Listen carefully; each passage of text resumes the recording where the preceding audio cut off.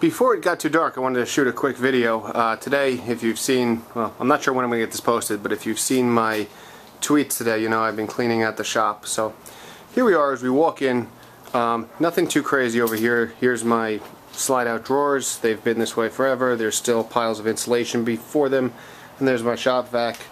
One of the big improvements today is you can see my table saw. Ooh. Uh, over here on the right side is where most of the changes occurred. Um, my Rockler tapering jig has been hanging there for a long time. There's my Kreg pocket jig. This jig used to hang over back there in the corner on the other side of the cabinets. It got moved over here.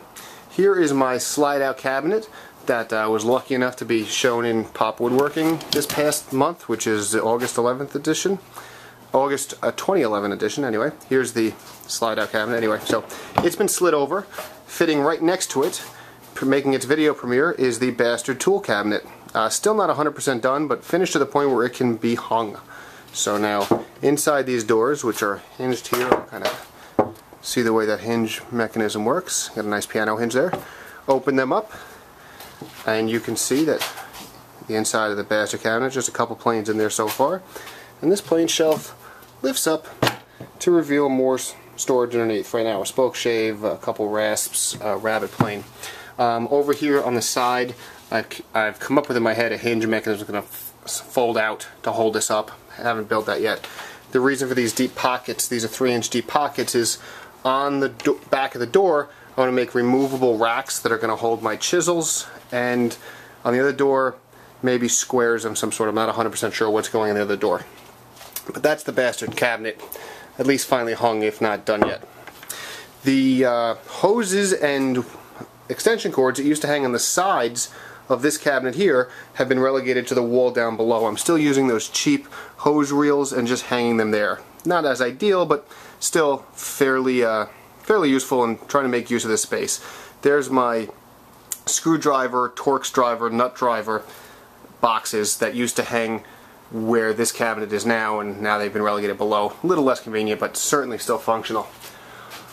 Over here I've taken what was my lumber rack and reconfigured it with some shelves to house a bunch of sanders and other Festool toys. Most of these Festools had been basically sitting in a stack right here in the corner since their purchase a few months ago. So now they have a home, if not a permanent home, at least they're up off the floor and kind of out of the way.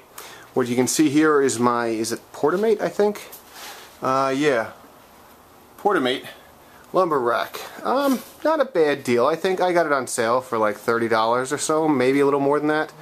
It was cheap enough that I saw it and I said, eh, that's cheap, I'll buy it. And I'm not sure exactly what the cost was. But you can see my lumber there. It's not quite as deep as my previous one was. My previous one was some, I think it's rubber closet made.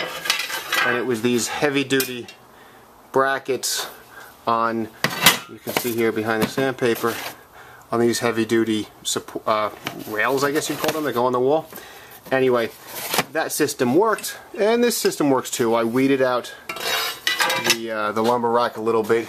You can see I've got a little cherry left over from my Sodas Chronicles build.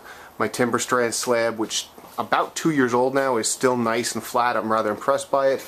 And just some more lumber up top in the back. You can see some actual treated 1x3. That's for my siding project. Anyway, there's the the, uh, the JET air filtration, it really needs to be moved from here over to this side tighter to the wall. It was kind of in the way today, but moving it by myself is a little bit of an ordeal and just not something I was going to deal with today. As we move back, here's the bench. Uh, the bastard cabinet is off of it. I can see my whole bench now.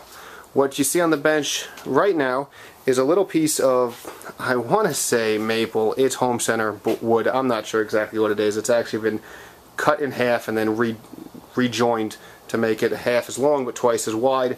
And what I've been practicing on that board is um, is Mark's simple varnish finish simple varnish finish method. So I don't think I can quite get a raking light here, but you can see it's looking pretty good. All I have left is the final uh, buffing, which I'm dragging my feet on doing. So I'll do that soon, and then what's actually going to happen, this board is going to the office with me, and two of these flat panel swing arm mounts are going to go, well, one here and one here. And this way I can fasten into the studs wherever the studs happen to be. I can fasten them at the spacing I want, and I can get my monitors off my desk onto the wall. And I can get this board off of my bench. Uh, so then in this corner, I freed up this space where that stack of Festool has been for the last couple months. That's just won me a little bit more room to, to walk and though I still have a plain toolbox and crap in this corner, I can. it's a little easier to sneak around this bench which was a royal pain in the butt before. Um, and there's my, over here, we have still have the Bessey clamps are on the floor. They're going to go up on probably this wall here. I actually, just today I ordered the clamp rack for them. I use these, these are the heavy duty Woodpeckers clamp racks. Yes, I know I could build my own, but uh, I got enough stuff on the plate. They're cheap, they're really strong, they're nice, they're easy, and they install in about two minutes.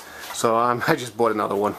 Um, and that's about it. I don't know if I've captured this on video. This is my Dust Deputy on what was a 55 gallon drum. I've cut the top, now it's probably about a 50 gallon drum. And the top, this big square that's actually a little hard to see, the square that I made that comes off to expose the whole drum is doubling as a finishing station. And that's all from the wands I just finished. In fact, here is one of the wands. This is the fourth one, which was made in case I screwed up one of the main three.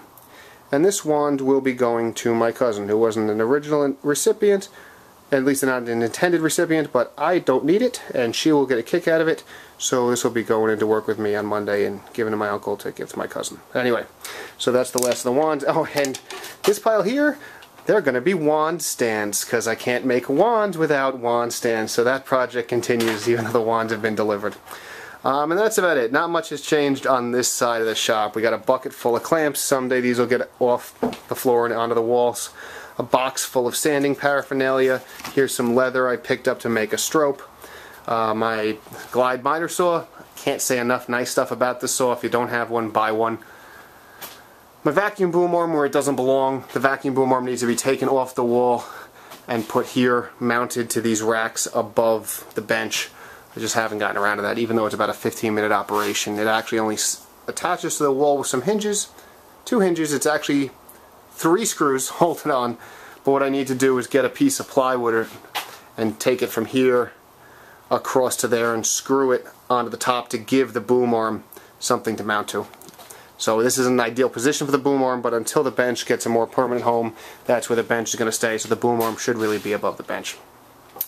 But uh, move on to my jointer and then my bandsaw and my sheet good storage here along with this pile back in the corner right here that's my siding stuff in fact here's a piece of PVC trim that that particular bevel cut and it's hard to see on this camera but the edge is actually flat it's, it doesn't come to a point and that's that's a mock-up I've made that's perfectly fit so now I need to make two pieces with those angles and uh, and from there we'll we'll keep trimming out this beautiful window. I just have the top trim left to do.